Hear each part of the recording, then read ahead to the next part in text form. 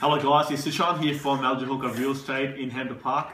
I'm sitting here with my vendor, um, Corey and Christy. Um, I, you know, they chose me as their agent two weeks ago, and I did tell them I will sell their property in one week.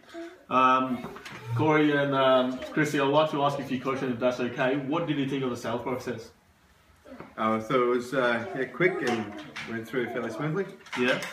And uh, what what was the price that you guys told me you guys were were were happy to sort of sell sell for? Last, last night we spent 500. What was it originally? I was, I was talking about 470, 480, Yeah, and um, that's good. That's good. And what did we sell at today? 4, 530. There you guys, five hundred thirty.